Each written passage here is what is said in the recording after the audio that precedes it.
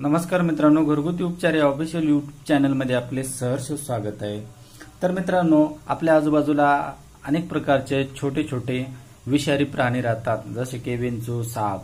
जर तुम्हाला विंचू आणि दंश किंवा चावल्यानंतर त्यासाठी काय उपाययोजना करता येईल? प्राथमिक उपचार म्हणून आपण घरच्या घरी कोणत्या प्रकारचे उपचार करू शकतो? तर याविषयी मी तुम्हाला दोन उपाय सांगा सांगणार आहे.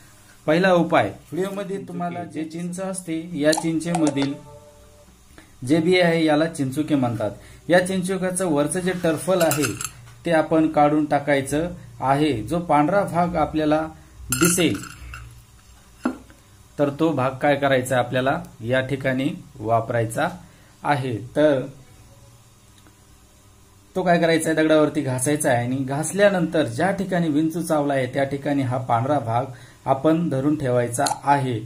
ठीक आहे. हा पांढरा चिंचोका त्यासाठी धरून ठेवा. जोपर्यंत तुम्हाला बरं वाटत नाही तोपर्यंत तोपर्यंत काय करायचं? आपल्याला धरून ठेवायचं आहे. आणि एक गोष्ट लक्षात ठेवा. हे जे चिंचुके दिसतात यांना तुम्हाला भाजून ठेवायचं नाही. तर चिंचोका हा कच्चा असला पाहिजे. तसंच ते उगाळत त्याचं जे वरचं टर्फल आहे ते व्यवस्थितपणे काढायचे. जोपर्यंत याला अशी पांढरी चमक येत नाही तोपर्यंत जर तुम्ही याला घासले तर हा उपाय एकदम परिणाम होऊ शकतो.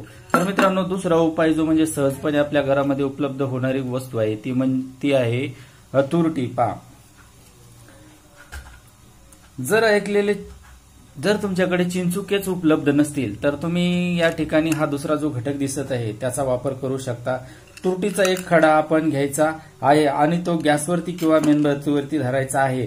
जेणेकरून तुरटी पगळू लागेल तुरटी विळतळू लागली की ज्या ठिकाणी आपण ती तुरटी धरून ठेवायची आहे ही तुरटी त्या भागाला चिटकून बसेल. मित्रांनो जोपर्यंत त्या विंचवाचं विष निघून जात नाही तोपर्यंत ही तुरटी आपण तशीच बांधून धरणार आहोत. ती त्याला चिटकून बसेल तेव्हा सगळं विष उतरून जाईल. त्याच वेळी काय होईल? ऑटोमॅटिक ती तुरटी गळून पडेल.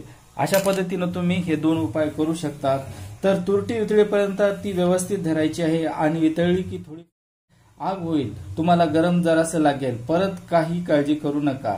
विंचवाचं विष त्या ज्या वेदना होतात त्यापेक्षा ही तुरटी गरम केल्यानंतर हा त्रास होणारच आहे.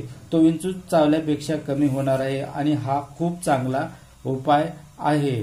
तर अगदी वर्षभर या उपायाचा वापर करू शकता. सहजपणे आपल्या घरामध्ये उपलब्ध होणाऱ्याच वस्तू आहेत. तर मित्रांनो मी आशा करतो की विंचू चावला तर या घरगुती उपायाचा वापर करा. आणि मी आशा करतो की व्हिडिओ जर तुम्हाला आवडला असेल तर लाईक करा शेअर करा आणि अशाच प्रकारचे व्हिडिओ पाहण्यासाठी आमच्या चॅनलला सबस्क्राईब करा.